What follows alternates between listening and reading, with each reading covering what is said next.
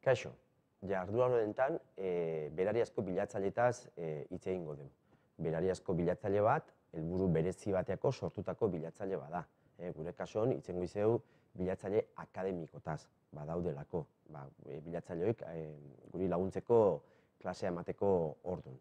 E, kasu hor badaude, badauzkezu adibidez Google en, akademikoa edo eskular e, Googlea edo Microsofteko ere bai, edo YouTubeko hezkuntzarako atala. Google Akademikoa berariazko bilatzaile bada. Hau da, mundu akademikoa zuzendutako e, berariazko e, bilatzaile bat. Bilatzaile honen emaitzak, ba, orokorren die e, liburuk, e, dokumentuak, proiektuak, tesiak eta horrelako xe e, dokumentuak. Bertaz hartzeko jarriko dugu akademiko Google bilatzaileen eta lehenengo emaitza mategun emaitza horrekin txe sartuko gabe, barrua.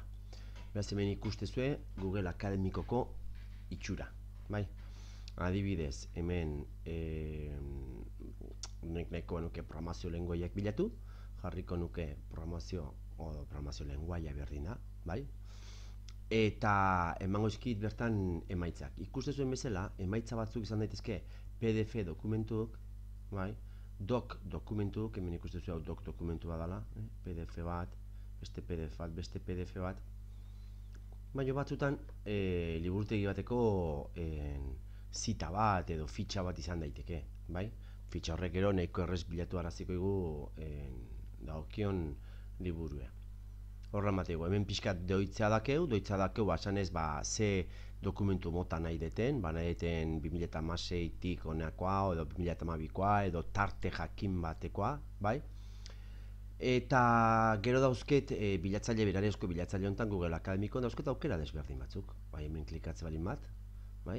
Bilaketan honetan, adiez, programazio lenguaiak, lehenengo gelaskan jarri ordez, bigarren honetan jartz balin bat, bilatuko ditu liburuk nun programazio lenguaiak hitzek zehazki azaltzeien, bai? Ikusten zu hemen komilekin behar nola jarriun, bai? Ordu ninguna bilaketa bat, nun azaldu behar dokumentu hortan programazio lenguaiak. Hor bilatzea ditu. Baita ere, ba, bueno, nahiko banuke e, zeko programazio lenguai bat edo, edo Pascal edo dana dala bilatu, hemen jarriko nuke dago hitze eta listo. Eta adibidez ez bali manai e, programazio lenguai bat, ba Pascali buruz, ba jarriko nuke minus Pascal eta eta jazta. Ba, izango litzeke bilatzeko dauzken aukera aurreatu batzuk. Pero posible da baita ere e, izenburu jarri ordez egilea jartzea. Ba, adibidez jartze bali mat hemen ikusten aukera hau, mostrar artikulos escritos por, eta nik jarriko nuke Iñaki Alegria, ba, behak idatzitako artikulok, behak gile bezala beha danak, ba, azalduko lieke. Bai, ikuste zuen, ba, guk gure euniroko laneako eskolan, ba, bueno, nahiko aukera politi dela, berariazko bilatzaile hau erabiltzea.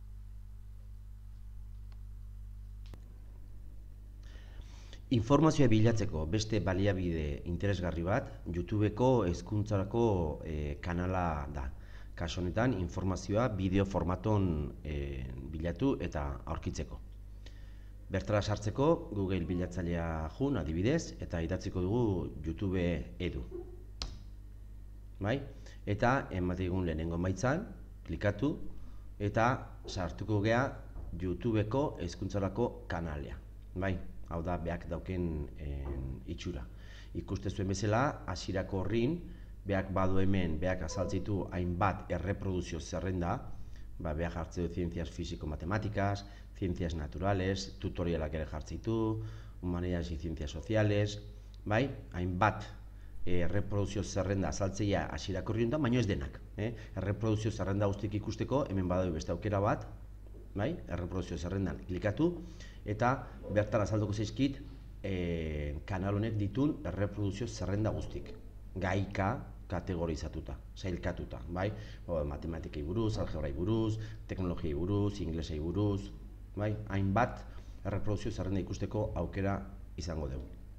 Bestalde, kanal hortan bertan, eskubiko e, zutaben azaldu zaizkit hainbat hezkuntzarako, hezkuntzari zuzendutako hainbat YouTubeko e, kanal Bai, besteak beste azalduko zait baitere e, Kan Academy dala zabat. E, bideokin eta ba, mundu mailan oso ezaunedan e, YouTubeko e, kanal bat. Orduan, informazioa bilatzeko e, YouTubeko kanaluntan, hemen badazue lupa bat, hor klikatukot, eta ba, hor jarrikot nire egiten materia, adibidez, ba, inglesa. Klikatu, eta azaltze zait erreproduzio zerrenda bat ingles izenekoa, mila behatzireun deruita mazazpi bideokin, bertan klikatu eta hainbat bideo azalduko zeskit inglesai e, buruz.